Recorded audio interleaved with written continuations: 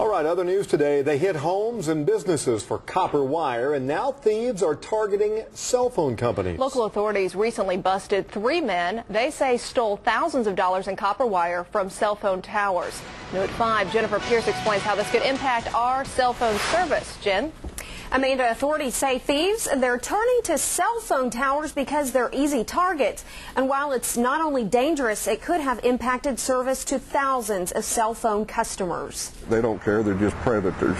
These are the three men arrested for allegedly stealing copper wire from several metro cell phone towers. Canadian County Sheriff's deputies found wires and drugs in the trunk of a suspect's car after a traffic stop. Deputies also found maps.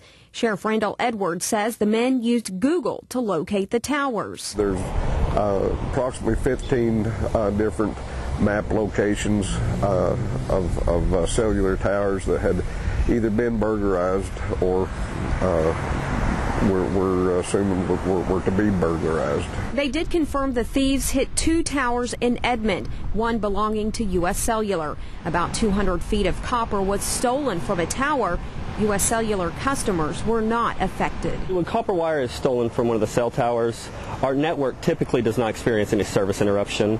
Uh, our, our network field engineers work quickly to get the copper wire replaced. The wire that was stolen is used to ground the tower in case of a lightning strike.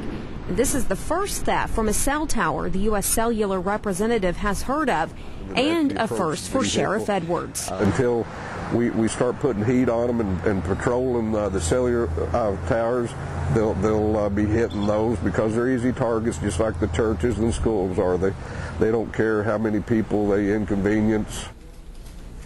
And the sheriff asked the public to be their eyes and ears. If you see any suspicious activity around a cell phone tower, report it to authorities. Amanda. Jennifer Pierce for us, thank you. And the three men are still in the Canadian County Jail on complaints of possessing and receiving stolen property.